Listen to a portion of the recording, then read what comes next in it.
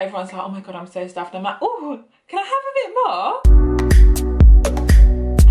Welcome back to my channel. I hope you're all doing well. If you're new here, my name's Teral and I make two videos a week. They're all about fashion, beauty and travel. So if that's what you like, make sure you subscribe down below and give this video a thumbs up. So today's video is a Q&A and I put it up on my Instagram. So if you're not following me on Instagram, also come and follow me over there because I post on there every day so you can keep up to date with what I'm up to and ask you guys to ask me anything. They're so random, but I thought it was quite nice. I'm going to get straight into the Q&A. All questions are unanimous just so that everyone can ask any questions that they wanted to ask. First question is, how did you get into blogging? So I started a blog in 2010 when I was applying for university. Back in 2010, people were blogging, but it wasn't as widespread as it is now. Because I was going to do a journalism degree, I thought, how can I stand out from other applicants? I started a blog and when I went in for my interview I printed it all out and I put I put it all in a portfolio and I walked into my interview and I said I have a blog. I had such an awful name. It was like fashionista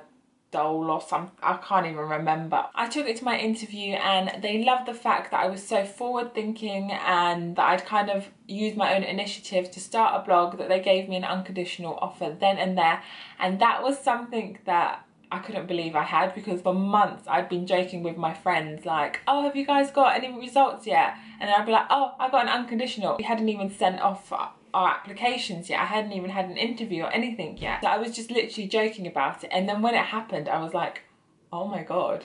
I actually got an unconditional, which if you're not familiar with what an unconditional means is the university like what you're you're doing already. They think that you're a great asset to the university, so they don't really care what grades you get. Your place is there no matter what grade you get. I didn't need to have those grades to be able to get in because they they liked what I had shown them at the interview so much that they wanted me at the university. So I was on cloud nine and if I'm honest, I didn't work as hard as I probably should have for my A levels because I knew that the university that I wanted to go to had accepted me already and I just really thought, why should I bother? Which is so bad thinking back on it. When I got the unconditional offer, I shut the blog down and I thought, I've got what I need right now. I don't I don't need to blog anymore. And it's not until 2013 when This Is Teral was started and it's what it is now. We're five years later now and I've been blogging, I've been blogging full time for two and a half years. It's been crazy. I started solely doing fashion and now it's moved on to more of a lifestyle blog where I do traveling, I do restaurant reviews, beauty and fashion of course. I will never stop doing the fashion. I've completely loved where I've come and the point that I'm at right now. Question number two. What was your favourite holiday in 2017? Last year was like my year of holiday. The blog really picked up in terms of travelling because I'd never done travelling before last year on my blog. So that was crazy and every single experience I went on was just as good as the last. So it was incredible. But I have to say it's a cross between Dubai and my cruise. I've never done a cruise before and I never probably would have thought of going on a cruise until I was like 60 years old or something. But honestly, it was incredible. The cruise that I went on was more of a like a booze cruise, more of a party cruise, and the music wasn't really to my taste. But the whole atmosphere, the people on it, the staff, the food, oh my god, the food on the cruises are incredible. The whole experience was amazing. So I can't choose between the two of them because Dubai was just something that I've wanted to do forever and it happened but the cruise was just so fun and so different and I never thought I would have wanted to go on a cruise and I just loved it. The cruise docked off from Barcelona so we went the night before and we explored Barcelona and then the next day we set off to Ibiza so we spent like a day and a half there and then we went off to Set and then back to Barcelona. It was like a four or five day cruise, but it was so much fun. If you've never been on a cruise and you have the budget for it, I'd highly recommend it because there's just so much to do on it. Parties everywhere. It's like a massive hotel on the water, but like 10 times bigger than any hotel you've ever been to. I just can't get over it. Anyway, if you could only pick one out of the following, what would you pick? Eyebrows, mascara, foundation, or highlighter? Hmm, That's really hard. Okay, so I'm cheating, but I've already got my eyebrows microbladed. If you haven't seen the vlog for that, I will link that down below. So I don't need anything for my eyebrows really. So mascara, foundation or highlighter. Oh, I don't know which one between highlighter or mascara. I think I would say mascara because for me personally, I feel like when my lashes are done, it just makes my whole face pop and you could really cheat with highlighter. You could just use anything else. So like a bit of Vaseline, is that right? Is that okay? Can I say that? I'm gonna go with mascara. I feel like I cheated, but it's fine.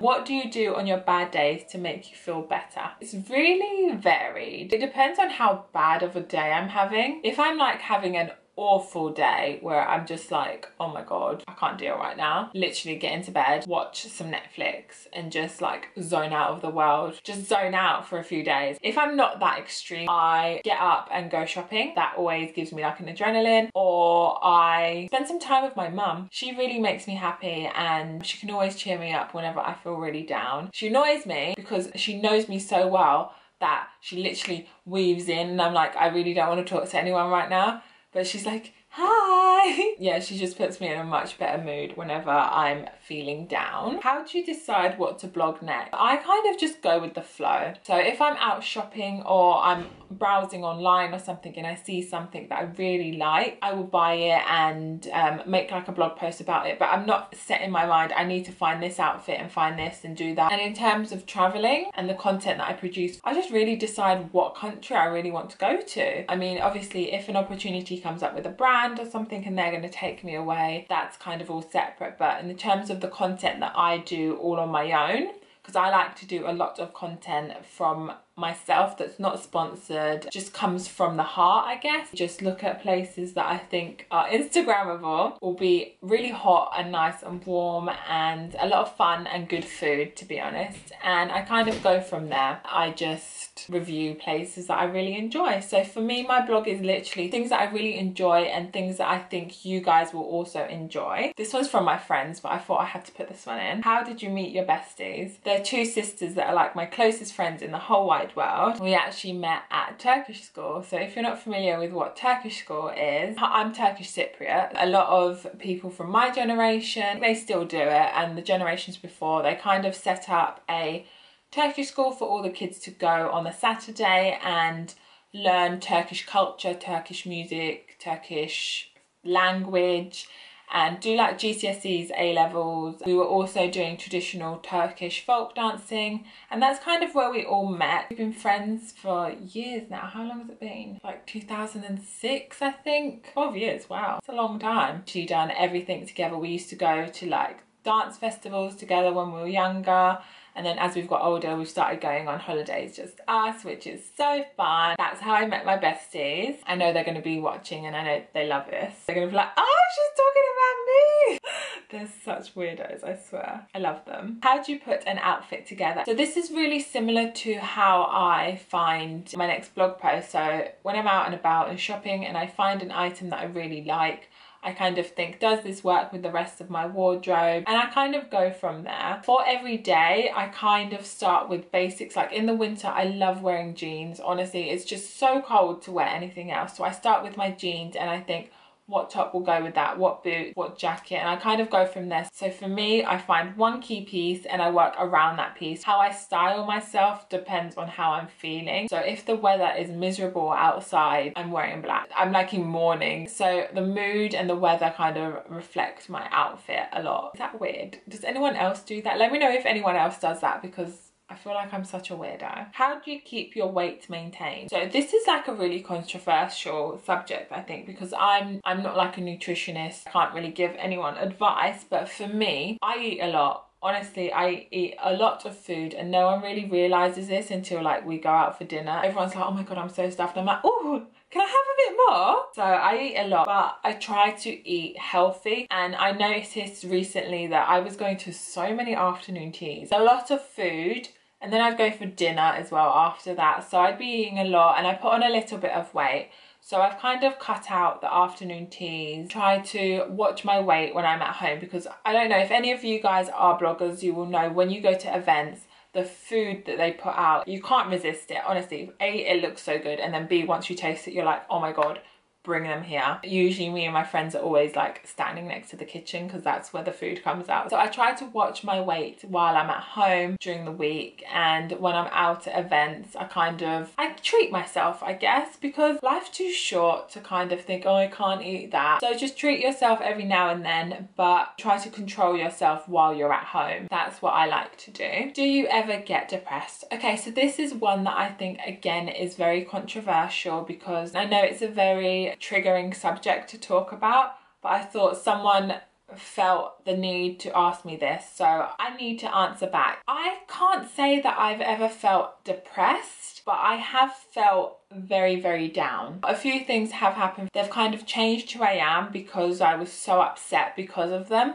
And I've written a whole blog post about that, so I will also link that down below. So have a little read of it and it, it might help you. I don't know how I feel, whether it is depression or if it is just serious upset. Maybe it is the both. I'm not sure. Like i said i'm i'm i'm not someone who's kind of educated in this matter so really i don't have a leg to stand on but i have been very very upset and very very down. And i've kind of had to work on myself and improve myself to kind of deal with those sort of situations a lot better. For me having such a supportive family and like friend group around me has really helped. When particular things did happen and it kind of changed who i was. It was really hard and it was just that one point that I got to and then I was like why am I crying over this? I wrote a blog post about it and that was kind of my final straw of like whew, I felt like a weight was lifted over my shoulders and I've been able to not go back to who I was, but kind of worry less and stress less because of that matter. In my eyes, I don't see that as being depressed where I was like crying for a year and a half, but it was very upset. But if anyone is suffering from depression or they're not sure if it's depression or something, please do go and seek some help because there's so much help out there nowadays. Like mental health is so important. If you've got a great support system around you, talk to someone. A lot of people do care about you and someone is around you to help you. So never be fearful of kind of telling someone, you know what, I really don't feel good. I feel really stressed. I feel really upset. I feel depressed, whatever it may be just don't be afraid of speaking out to someone. So yeah, that was quite a deep question, but thank you for asking that because I feel like bloggers kind of just put out this this role of everything is perfect, but it's not. No one's life is perfect. Every life has ups and downs. So it's, it's great for you guys to hear from me that I also have very low days as well. What do I use on my hair? So I am very low maintenance with my hair and I use a lot of dry shampoo because my hair gets really oily really quickly. One of my favorite ones is like Batiste. I know a lot of people don't like it, but I personally, I find it cheap and easy. Also, I use any type of oil at the bottom of my hair because I get dry ends because I straighten and curl my hair a lot. The oil that I use kind of like differs between marula and Moroccan oil, argan oil. So it's whatever I kind of can reach that I kind of use. Almost finished. Describe your dream perfect day. So my perfect day will start with a lie-in and then I would have brunch. So I'd go out for brunch or even better if I'm at a hotel I'd have brunch sent up and then kind of spend the day out and about with my boyfriend and then come home to a massive meal with my family. That is like the ideal day for me. But if we're like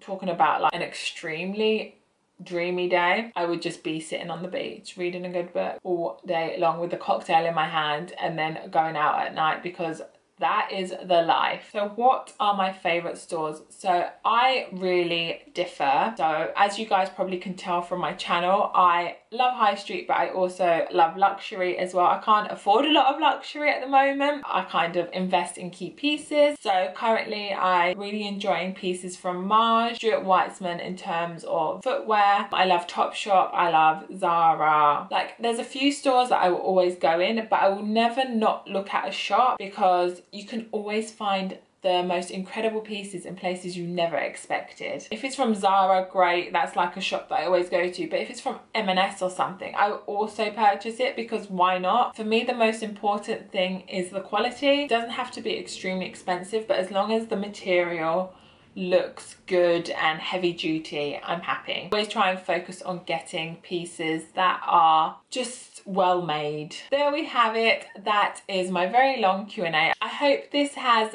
been a nice way for you guys to kind of get to know me a little bit more. I hope you guys have enjoyed this video. If you have, don't forget to give this video a thumbs up and subscribe down below. We're so close to 700 subscribers. It's like a tiny fraction of what a lot of people are doing, but for me, it's like one of my goals this year is to reach at least 1,000 subscribers. So help a girl out and hit the subscribe button. Give this video a thumbs up if you've enjoyed this Q&A and let me know if you guys are interested in doing more Q&As and I will see you guys in my next video. Bye!